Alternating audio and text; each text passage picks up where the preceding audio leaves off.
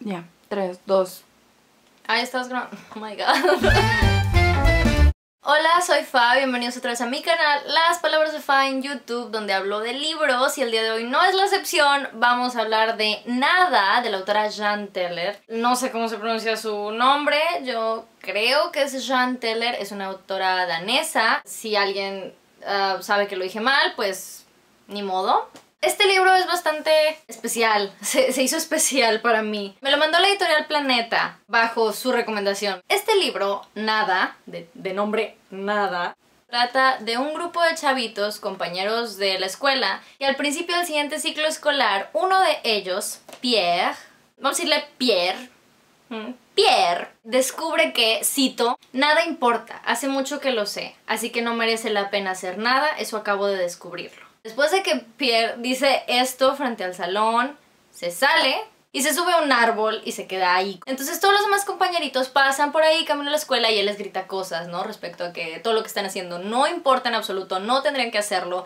que ellos como que idealizan, que la vida sí importa cuando no es así. Todos sus compañeros deciden demostrarle a Pierre que no tiene razón, que sí hay cosas que importan. ¿Qué deciden hacer? Empiezan a recolectar cosas que signifiquen lo máximo para ellos, o sea, lo más importante que tengan. Hacen una montaña que le dicen el montón de significado. Normal, you know, normal stuff. Eso es todo lo que necesitan saber de la historia. Ya saben que a mí no me gusta spoilear, pero historias como esta, menos. O sea, es una historia muy, muy, muy buena que no quiero decir ningún detalle que se salga de más. Lo otro que les puedo decir es que es ese tipo de historia que se va desarrollando poco a poco y tú dices, ah, mira, ah, ah. Y de repente llegas a un punto en que, what?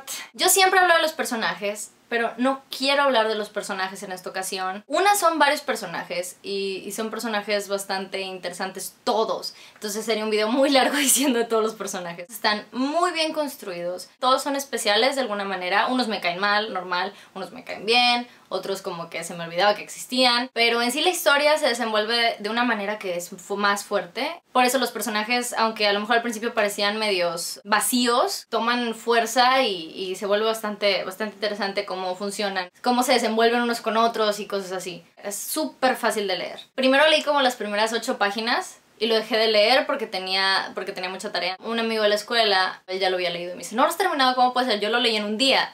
Y le digo, pues es que no he tenido chance, de hecho ahí lo traigo en la mochila. Y me, me, dijo así tal cual, ponte a leerlo. Y yo, ok. Y ese mismo día estuve como dos, como una hora y media leyendo en la escuela. Y lo seguí leyendo en el carro y lo acabé ese mismo día. Yo no leo en el carro y este libro me tenía conectada ahí. La historia en sí, el libro en sí tiene mucha fuerza y poder, o bueno, tuvo poder sobre mí, que yo estaba ida, o sea, lo estaba leyendo, incluso cuando, cuando lo terminé de leer, seguí ida pensando en la historia y y hasta ahorita, o sea, me pongo a pensar y es... Es,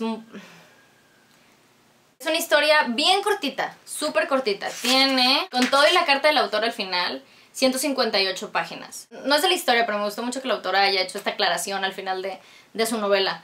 Les voy a contar un poco de lo que sucedió con el libro. Fue publicado en Dinamarca, pero causó mucha controversia. Les voy a leer la información tal aquí para no decirles algo que sea mentira. Y en lugares como Francia y Noruega pasó similar de que en algunas escuelas lo pedían como libro de texto los maestros y los papás se negaban a comprarlo. Se negaban a que sus hijos lo leyeran, igual en Alemania y en lugares así. Entonces, esto hizo que al mismo tiempo el libro funcionara muy bien en otros países, de que la gente se cuestionaba de que por qué no quieren que los chavitos de secundaria lo lean, qué tiene el libro, ¿no? El libro llegó creo que el año pasado a México lo acaban de traducir. Es súper importante que si un libro causa lo que, lo que ha causado este, es importante que le echemos el ojo porque a lo mejor la historia dices tú, bueno, X.